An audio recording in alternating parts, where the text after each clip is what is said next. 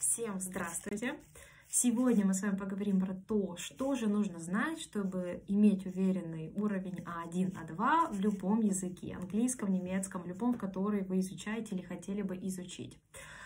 А, меня зовут Морозова Ксения, я преподаватель английского, и сегодня я с вами поделюсь этой информацией. Поехали! Итак, конечно, у каждого языка есть свои особенности в грамматике, в произношении, на какие-то нужно больше времени, на какие-то меньше. А, это все понятно. Я сегодня расскажу просто про основные пунктики, которые должны присутствовать, навыки у человека, который изучает язык, а, чтобы у него был такой подтвержденный уровень. Итак, и я выделяю обычно 4, я бы сказала, 4,5 пунктика. Первое, это, конечно, словарный запас. Не переживайте, я поподробнее расскажу про каждый. Второе, это грамматика. Говорение плюс я сюда половинку добавляю еще произношение. И последнее – это понимание на слух. Э, ну, то есть это называется аудирование. Умение понимать иностранную речь на слух называется аудирование. Это все сюда входит. Первое – это вот четыре основных пунктика, четыре с половиной. Но если в целом, то это уровень а, такой, когда вы можете рассказать о себе на языке, расспросить, естественно, эту же информацию о другом человеке, то есть правильно задать вопросы. И его еще называют достаточно туристическим уровнем, я его так называю, то есть вы можете общаться в поездках, в ресторане заказать что-то, в отеле про комнату спросить, в аэропорту поговорить, то есть вас понимают и вы понимаете. Пусть даже вы говорите с ошибками, ничего страшного, но тем не менее вы можете рассказать об этом всем. И ну, иметь э, навыки говорения на какие-то темы, такие общие, еда, работа, хобби и так далее.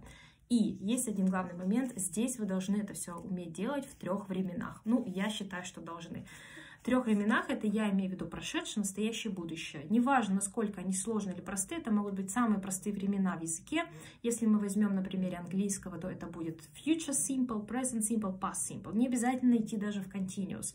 Да, а почему? Потому что знание и умение говорить только в настоящее время очень сильно вас ограничивают. Вы вроде бы знаете слова, вы их много знаете, но вы не можете поддержать разговор, не рассказать о своих планах, ни о том, что вы делали вчера и это сильно вас ограничивает, и вы не чувствуете себя уверенным. Все-таки этот уровень 1 да, подразумевает, что вы умеете это делать.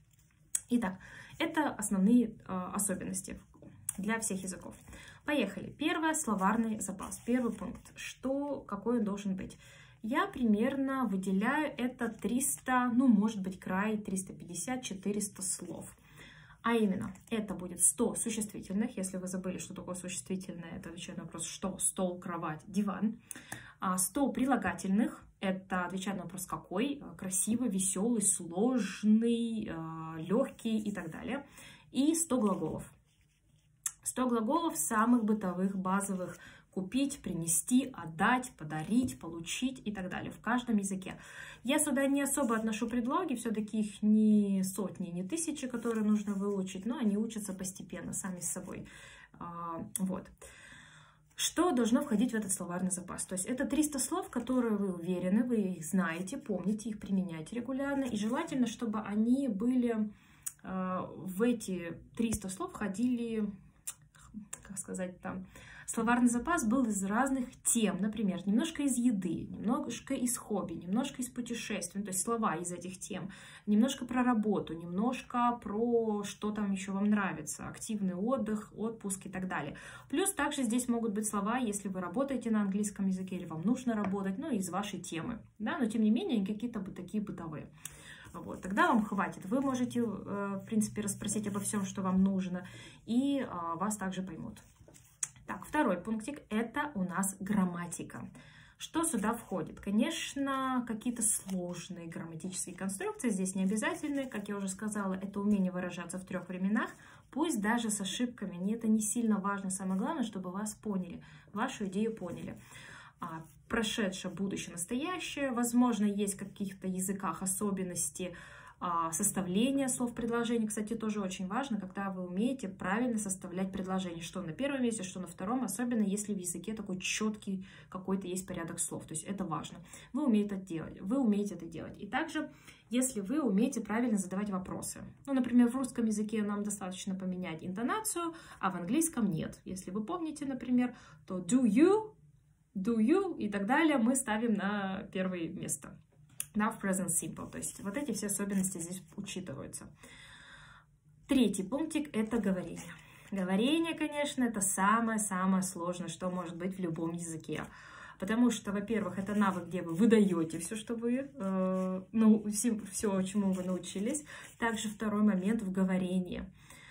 Это сложно, потому что здесь подключается ваш голос, особенно если вам не нравится, вам будет сложно говорить. Здесь также подключается мимика, эмоции. Вы понимаете, что ваш собеседник это видит, чувствует.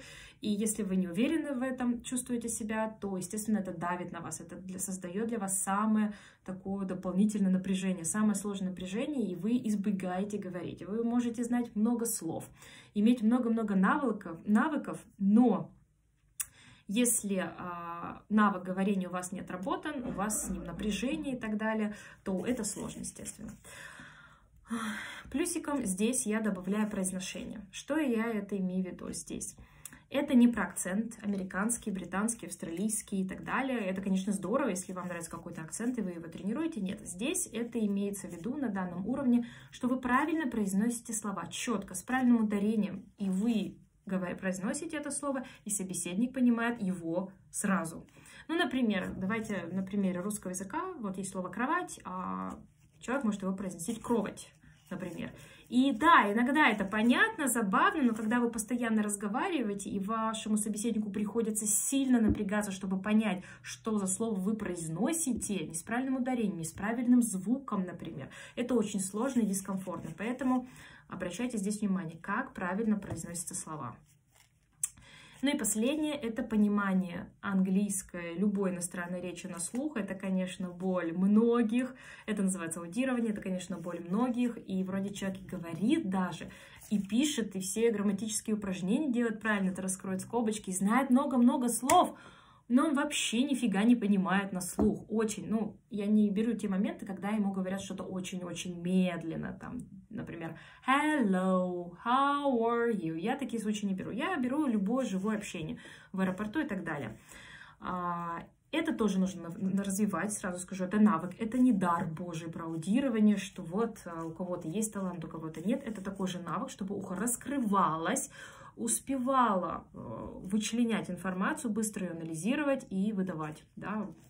Это навык, он развивается годами. А, не нужно грустить по этому поводу, так устроен наш мозг. Все-таки, если вы вспомните, например, маленькие дети, они когда рождаются, когда начинают даже ходить, они первые несколько лет только слушают, только потом начинают говорить там по слову, по словосочетанию и так далее. Так устроен наш мозг. Но про аудирование я поговорю про, по, попозже в другом видео. Поэтому этот навык у вас тоже должен быть развит, хотя бы элементарно с теми словами, которые вы знаете. И в той грамматике это future simple, например, будущее, прошедшее а, и настоящее, чтобы вы хотя бы могли это расслышать, то, что вы уже знаете. И если, например, в разговоре вы что-то не поняли, то ничего страшного, вы можете это спокойно переспросить, сказать, извините, я вот тут не понял, не могли бы вы сказать помедленнее, например. Вам это проговаривают, повторяют в более медленном варианте, вы это все успешно понимаете, коммуникация состоялась, все, супер, цель достигнута. Вы уже общаетесь на языке. А, вот, эм, в принципе, вот все, что я хотела рассказать. Теперь, сколько на это все нужно времени? А, это требует времени, навык, у каждого свои особенности. Кто-то быстро, быстро учится, кто-то медленно. А, про то, чем отличается вот этот уровень А1, А2 в любом языке и от других уровней B1, B2, C1, C2, я рассказала в другом видео. Вы можете также посмотреть на канале или у меня в инстаграме. А, но примерно на это все, на уровень 1, А2, на такой начальный, нужно 90-100 часов примерно активной работы. Не за месяц, нужно время, нужен отдых также будет, но, в принципе, за несколько месяцев можно это освоить, уверенно достаточно. У меня с некоторыми учениками есть э, люди, которые, с которыми мы за 30 часов это все осваиваем. Да, с перерывами, то есть это не 30 часов, то есть не каждый день по 5 часов мы сидим, но есть перерывы, чтобы информация усвоилась, человек ее впитал, потом снова выдал, потом закрепил. Но, тем не менее, у каждого это все по-разному. Я надеюсь, что вам это видео было полезным. Спасибо за внимание. До свидания.